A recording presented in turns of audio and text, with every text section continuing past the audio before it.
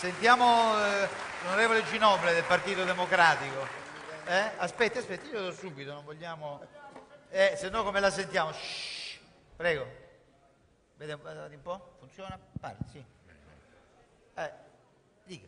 No, perché si vedeva mentre parlava Lorenzin, ci aveva... Abbiamo idee diverse.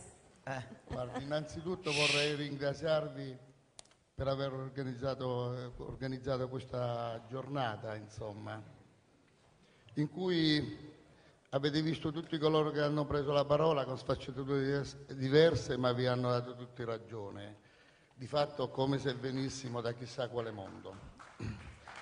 Io credo che siamo in un momento preelettorale, la ragione e la situazione che vive il nostro Paese credo che ci debbano consigliare un po' di sobrietà e di serietà nel prendere in considerazione alcune questioni come la vostra. Io non sono per carattere e per estrazione sociale un difensore del Presidente Monti, ma mi sembra ingiusto, se, Eh, se mi permette... saluto, saluto l'onorevole Lorenzin Ah, che va via e che ringrazio ovviamente. buon- eh, buon lavoro, eh. Grazie, così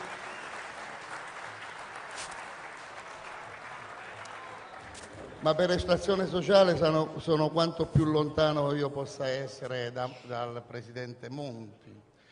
Però mi sembra ingiusto non porsi la domanda. È venuto per caso, qualcuno l'ha chiamato. L'abbiamo chiamato perché questo paese, qualcuno diceva, stava bruciando la casa. Siamo in tema. La casa stiamo bruciando, stava bruciando. Il senatore ha svolto il ruolo di pompiere? usando l'idrante qualche volta in maniera sbagliata, non colpendo sempre le fiamme, qualche volta anche spettatore dell'incendio, però non è possibile se non tornare alle ragioni di chi è stato ad incendiare questo Paese. È stata la politica complessiva inadeguata degli ultimi tempi? Sì. Qualcuno ha assunto in questi ultimi tempi qualche responsabilità in più rispetto a qualcun altro. E quindi oggi non è possibile sentire che ognuno prende impegno per venire incontro alle vostre ragioni per il tempo che stiamo vivendo, dimenticando che queste ragioni potevano essere soddisfatte nel passato.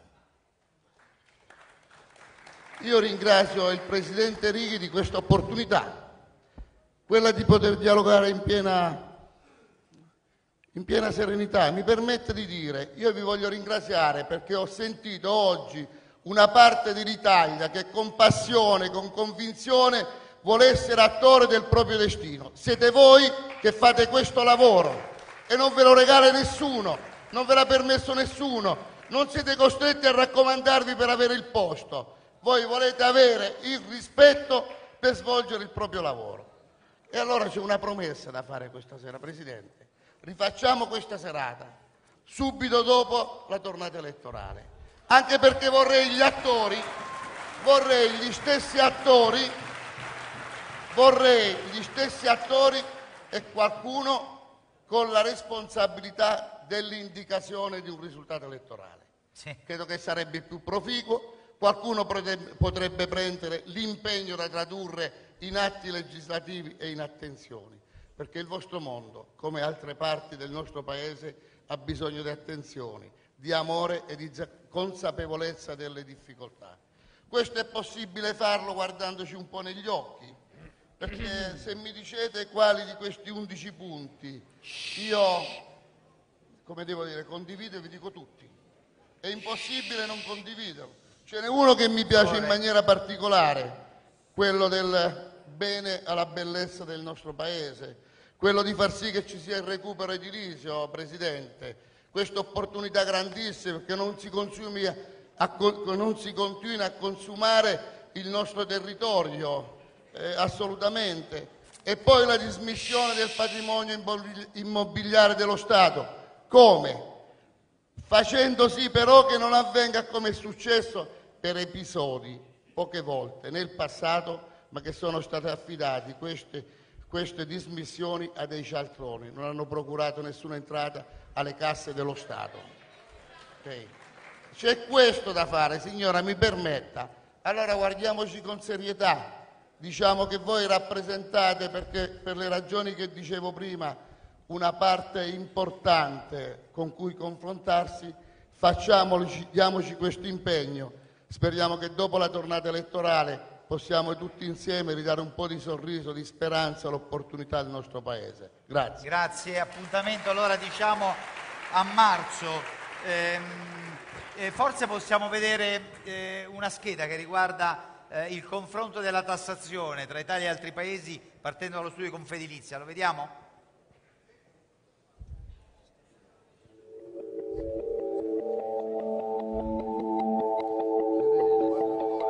La tabella permette di constatare come in Italia la pressione dell'imposta personale sul reddito per una persona singola, senza carichi di famiglia, che svolge un lavoro dipendente, è per tutti i livelli di reddito maggiore che in Francia e in Germania. Si può constatare come il divario è molto elevato fino all'imponibile di 70-80 mila euro. Questo è determinato dal fatto che la Francia, per i carichi di famiglia, adotta il quoziente familiare, mentre la Germania prevede l'opzione della tassazione del cumulo dei redditi dei coniugi, con il raddoppio del reddito tassabile e con una riduzione dell'aliquota applicata. La tassazione in Italia, rispetto agli altri paesi, penalizza soprattutto i redditi medio-bassi.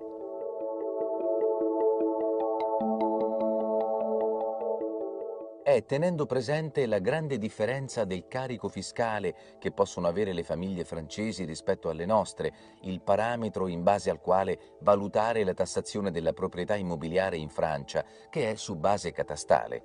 Il catasto, nella concezione francese, non si basa su una concezione patrimoniale come si vorrebbe fare in Italia, ma sulla concezione reddituale in base al cosiddetto valore locativo, ossia il reddito da locazione. La tassazione degli immobili in Germania ha un'importanza molto minore che in Francia e anche rispetto all'Italia. Questo in quanto da sempre la politica del governo tedesco è di non imporre tasse elevate sulla piccola proprietà. Occorre evidenziare che il confronto tra le tassazioni nei vari paesi va fatto anche in riferimento alla pressione di tutte le imposte dirette, non solo quelle sui patrimoni, ma anche quelle progressive sul reddito. A tale riguardo si rileva che la progressività dell'imposta personale negli altri paesi avanzati mediamente è molto più moderata che in Italia. In Francia avviene in virtù dell'adozione del quoziente familiare, in Germania mediante aliquote che hanno una progressività più contenuta e con l'opzione della tassazione congiunta del reddito di un coniuge con quello dell'altro coniuge e la divisione per due. Nel Regno Unito la moderazione della progressività dell'imposta sul reddito personale avviene per effetto dell'adozione di due sole aliquote. La tabella dimostra come la pressione delle imposte dirette in Italia è maggiore rispetto al 2009 sia nel confronto con ciascuno di questi paesi sia della loro media. È difficile comparare le tasse sulla proprietà immobiliare nei diversi stati perché hanno natura e scopi diversi. Per esempio, in Francia il dato della pressione fiscale sulla proprietà degli immobili include anche pubbliche entrate come quella sui rifiuti solidi urbani e il canone TV, che non fanno propriamente parte delle imposte, essendo tasse o prezzi per servizi resi. Inoltre le imposte immobiliari francesi e inglesi sono detraibili dall'imposta personale sul reddito, ciò che non accade in Italia. Nei paesi anglosassoni, in cui l'imposta locale sulla proprietà immobiliare è particolarmente elevata, non esistono le tasse per i servizi municipali che riguardano gli immobili, la tassa sui rifiuti, sugli spazi pubblici, sulle affissioni e così via. Per molti stati la statistica della pressione diretta sugli immobili è poi gonfiata dal fatto che non si distingue la parte del tributo patrimoniale che cade sugli immobili e quella che cade su ciò che vi è contenuto, come quadri e arredi e mobili di antiquariato o di altro particolare pregio, e in altri o negli stessi dal fatto che vi è un unico tributo sugli immobili e sui capitali immobiliari.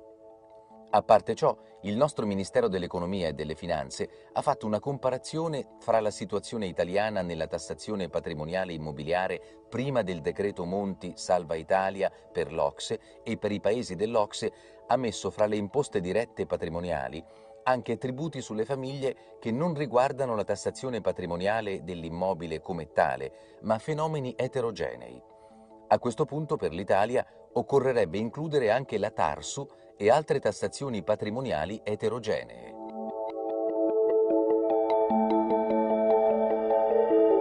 La tabella permette di considerare come si presentano le imposte dirette sul reddito e sulle proprietà immobiliari in Italia, Francia e Germania. Il contribuente medio in Francia, dopo aver pagato l'imposta personale sul reddito, ha ancora una rilevante disponibilità di mezzi economici per pagare il carico fiscale patrimoniale sugli immobili. Per quel che riguarda la Germania, le aliquote sono generalmente molto moderate e favoriscono le famiglie, prevedendo diverse opzioni di detrazione a loro favore. La diversificazione delle imposte dirette sul reddito e sugli immobili e la loro incidenza sul reddito disponibile delle famiglie comporta una diversa giustificazione per la tassazione patrimoniale in Francia rispetto alla Germania e soprattutto all'Italia. Inoltre, il reddito degli immobili direttamente goduti dai proprietari, diverso dalla prima casa, in Italia è sottoposto alla tassazione personale progressiva sul reddito, mentre è fuori campo rispetto ad essa in Francia e in Germania.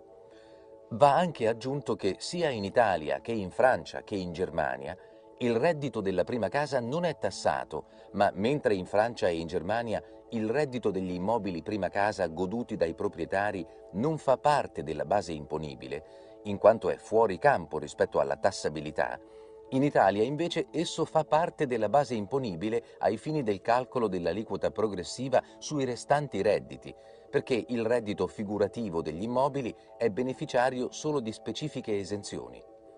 In Francia vi è una tassazione patrimoniale particolare degli immobili non locati, non utilizzati dai proprietari, e questo si spiega considerando che il reddito presunto in natura di questi immobili in Francia, come in Germania, è esonerato dall'imposta sul reddito, mentre è tassato come tributo patrimoniale mediante la capitalizzazione della rendita teorica. In Italia le unità immobiliari non locate diverse dalle prime case sono circa 15 milioni contro 19 milioni di prime case, sicché la tassazione di questi redditi in natura nell'imposta personale sul reddito ha una consistenza rilevante. Allora, eh insomma, meritava di essere visto perché insomma, la racconta lunga eh, sulle differenze tra l'Italia e gli altri paesi.